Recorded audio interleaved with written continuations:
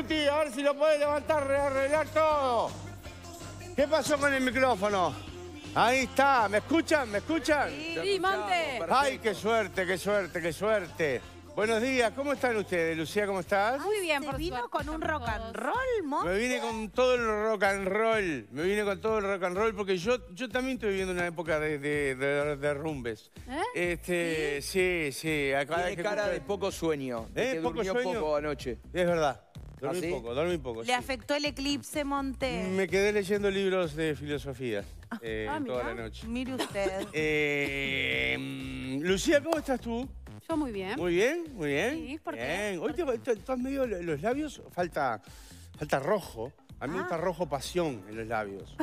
Ay, le pido mil disculpas. Sí, hoy lo que pasa es que me pareció que la camisa ya tenía mucha información. Ah, ah, ah, Entonces bajé un poco el tono labial. Pero Claro. bueno, ¿Qué lo- llamo a Miri en un segundo y, y lo ¿Qué soluciono. te disfrazaste? O sea- ¿Código de barras? ¿Qué- qué-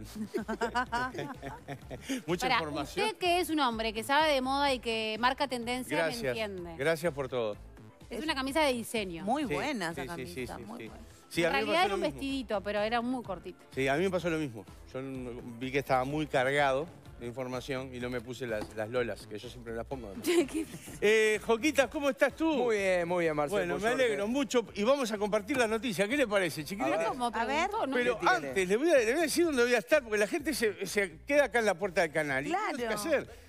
El 25 de septiembre, ¿en dónde? ¿Dónde? Con Bigote. Con Bigote. Acá el 9 de octubre en Sala Cantegril de Punta del Este, entradas en Red Ticket y Red Pagos. El 10 de octubre en Top Pizza Pinamar y el 19 de octubre, ¿Dónde? gran novedad. ¿Dónde? Para todos los que me decían, ¿cuándo vas a estar en Montevideo? Sí. El 9 de octubre en el Movie. ¡Vamos! ¡Vamos todo el mundo! 9 de octubre. Sí, sí, sí, el 9 de octubre. Todavía no están las entradas a la venta, no se agolpen. Eh, que ya las vamos a poner. Estamos armando un, un afiche, como se le dice ahora, un, fla- fla- flyer. flyer, un flyer. de esos. Este, bueno, y vamos a las noticias ahora sí. Informe ambiental cuestiona proyecto en Punta Ballena. Vieron que en, la- en el lomo de la ballena es, ¿no? Que quieren poner un edificio, ve- 30 eh, casas, ve- 30 casas ahí de lujo. 28 edificios de lujo en, en el lomo de la ballena y ayer el informe de- del ambiental No dijo, corre, le dije. No. corre, dice. Podría constatarse de pérdida de la biodiversidad de la vegetación. Ah, bueno, entonces ¿Entendés? no. Por unos bichos que hay ahí no se pueden hacer los apartamentos. ¿Me entendés Bueno, lo que te digo? No recomienda hacerlo, lo que dice es que el impacto ambiental Sí. sería demasiado y no sería eh, equilibrado con lo que proponen desde el otro lado. Ahora tiene 10 días la empresa para, Para reformularlo. para, Para apelar, para apelar de algún modo Claro. o bueno Porque te das cuenta que no se pueden hacer 29 edificios por uno que hay ahí, unos hámster. ¿Qué, qué hay ahí? No, Ahí, Bueno, Mante es una de las zonas naturales más lindas. Un par de víboras, un par de termitas, ¿qué puede haber? ¿Me entendés? Este, no, yo tengo... Yo ¿Usted se acuerda que los vecinos se movieron miles de vecinos Sí, juntando sí. firmas? Además, eh, ¿saben que...? eh, es- ¿Antía debe estar de chocho? Ah, eh, Antía quería, claro. Eh, ¿Saben que eh, los propietarios, porque eso es privado, Claro. entonces los propietarios ahora evalúan cortar el acceso al público. Porque claro, si ya no me dejas hacer nada, entra todo el mundo a tomar mate, a tomar, ¿entendés? Por lo menos dame la- el puesto torta frita, dijo el dueño. Eh, Que cobren entrada, como la rural del Prado. Este, no, no sé cómo hacer, porque imagínate, si vos tenés ese predio, Lucía, ¿qué harías? No, ¿y usted tiene predio ahí? Yo no tengo ese predio, pero tengo otros lomos Ah. de ballena. ¿En serio? Bueno. Ayer festejábamos la incorporación de nuestra amiga Laura Raffo a la, a la Alianza País de Javier García. ¿Estuvo acá, la vio? Hoy. Hoy estuvo en el canal, lo, lo estaba buscando. Ay, no la vi. No la Laura, vio. te fuiste sin... Increíble. Bueno, se sumó y durante el uso de la palabra en el encuentro, Rafa hizo un agradecimiento especial. Dijo, agradezco al negro da Silva, que la verdad que tuvo una generosidad increíble. Gracias, negro de corazón, expresó.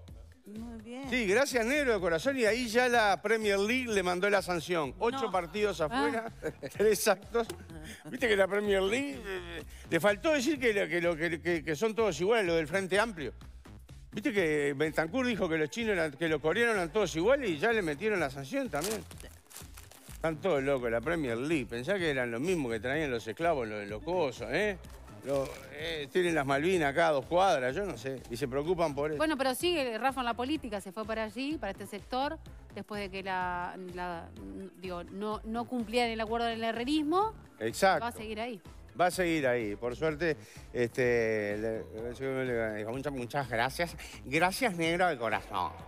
Sinceramente, es el único lugar donde me aceptaron. Habló de la importancia de la, pan- de la palabra empeñada, ¿no? De, de Eh, política, si uno no cumple su palabra. La verdad, la verdad. Y en los otros lugares no me gustó a mí lo que le hicieron a Laura. Ya lo digo acá, ¿eh? Te, lo digo vos, Heber. Cuando quieras lo hablamos mano a mano, porque hay una gran amistad. Este, joder, dijo, bueno, Como el gato con el perro, como la calma y el Ay, viento. como la calma y el viento. Sí, los problemas con los políticos. ¿Por qué? Cose planteó a Ripoll. Sí. Cose, Carolina Cose, la vice del frente, planteó a Ripoll que averigüe si los blancos están contentos con la fórmula. Fue así porque le consultaron a Cose por las eh, críticas que había hecho Ripoll, eh, haciendo referencia a que había dos fórmulas, que como no estaban conformes con la fórmula principal, estaba el Pacha Sánchez y Blanca como fórmula Como secundaria. fórmula alternativa. ¿Eh? ¿Y por qué Ripoll no, por- no se preocupan saber si los blancos están contentos con la fórmula? Le dijo Cose. Así se fueron dando palos. Viste que la Cose no es que sea ácida, No. es lo No. siguiente. Es brava. y a ver si está contento los blancos y ahí Delgado agarró la posta. ¿Qué le dijo? ¿Y qué Por dijo? supuesto que estamos contentos los blancos. Si estaremos contentos los blancos en estas circunstancias en las que le vamos a ganar al peor frente amplio en la historia. y ahí, ¿qué pasa? Esto de Ripoll y Cose, ya te digo cómo va a terminar. ¿Cómo? Lucha en el barro. No. Las dos. Me No, gustaría, ¿no le eh, gustaría? no. Lucha en el barro, Ripoll, Cose, Cose, Ripoll. Se agarran de las mechas ahí. Ojeda Vergara termina más en el barro antes. ¿Sí? ¿Ojeda? Vergara. Por el nivel de la, de la Es buenísimo, la del capincho y la de cosas es buenísimo. Es buenísimo. Justo vos que estás dentro del capincho. Pero no era dentro de la campaña electoral. Ahí le dijo Vergara. Ahí sí. Bueno, Todos saben que vos sos un cara dura. ¿Quién? Cara dura. Cara dura. ¿Quién se lo dijo a quién? Me gustaría seguir en el Senado. ¿Quién lo dijo? ¿Quién lo dijo, Monte? Me gustaría seguir en el Senado. Bueno, aplica para cualquier político. Sartori. Sartori lo dijo. Pero ¿cómo Sartori. seguir en el Senado? ¿Cómo seguir? ¿Cómo seguir? Este martes en rueda de prensa el senador Juan Sartori dijo que espera volver a la Cámara Alta y agregó, volver. A mí me encantó el trabajo en el Senado ¿Y sí? Y fue tres días. porque pude plantear una agenda de futuro. Ahí va. Sí, de futuro porque no le votaron ni uno de los proyectos que presentó. Entonces me gustaría seguir con ese trabajo. ¿A quién no, papá? Dijo que Igual tuvo para una- Sartori es un vuelto. Sí. No sé. Es un vuelto. Y por eso, pero algo sigue viniendo. Bueno, sí, bien. eh, y le pagan la mitad, además. Eh, dijo que tuvo una forma diferente de encarar la tarea y que se siente más preparado para la próxima legislatura. Claro, tuvo una forma diferente a distancia, por Zoom. yo qué sé. Lo hizo por correspondencia el curso. de- Bueno, lo importante eh, en- cuando el, el sartorismo larga no es saber quién va a ser el candidato a senador, sino quién va a ser el candidato a suplente. Claro. Porque ese va a ser el que va a ver Y el sartorismo que se unió con el herrerismo. Se unió con el herrerismo, el sartorismo con el herrerismo. Este, y dijo que para esta legislatura se siente más preparado, que esta vez incluso se va a animar a ir a conocer el palacio algún día. Lo vio en TikTok a Sartori. Les recomiendo seguirlo en TikTok o verle los Ay, videos. por favor. Es desopilante. Es maravilloso. Muy bueno. Es un gran personaje. Bueno, señores. ¿Qué es esto, Rodri? Ay, no, otra vez Yo no puedo creer. ¿Vos la escuchaste esta canción? Yo no. No la escuches. Escuché la letra. Te va a hacer mal. Ojo si te dedican esta. Yo cada vez que llego a casa, Marta me pone esta. ¿Te pone esta? Nunca le digan, me pone esta un payador. Este, bueno, empoderada y libre. Sí. Libre como el sol cuando amanece. Yo soy libre. Empoderada y libre. Joven de 26 años obtuvo el premio a la mejor. No, a la vagina más linda de Brasil. ¿Cómo? No aplaude nadie. Hay premio, hay premio. Pero ¿cómo fue el concurso, No, Monte? yo No leí la noticia y me pregunté, claro, ¿cómo sería el criterio de elección? ¿Cuál es el criterio? ¿Cuántos años, cuántos años tiene? Es muy subjetivo. 26 años. Y bueno, sí, claro. Sí, todavía no, no entró en el, en el derrumbe de, de- de Dresler. Todavía la canción de Drexler no aplica. Todavía no Ga- Bueno, sí, Sabrina Saraeva, sí. carioca de 26 años. Ajá. Ya hoy ganó el otro, sin embargo. Eh, ganó el concurso Miss PPK. ¿Qué? Miss, Me- Miss PPK, Ah. que eligió la vagina más bella de Brasil. Estoy muy feliz con el resultado, dijo. Es una forma de empoderamiento y libertad. Claro. Para concursar, las 500 candidatas que participaron... 500. 500 eh, eh, cachuchas. Eh, 500 candidatas que participaron debían enviar fotografías de sus vulvas. Que esa no- parte no sé cuál es. Eh, Enviar fotografías. de sus vulvas qué sin raro. retoques y sin mostrar el rostro. De ellas. Claro, con Photoshop Claro. no sirve. Tenemos imágenes y la vemos, producción. No. ¿No?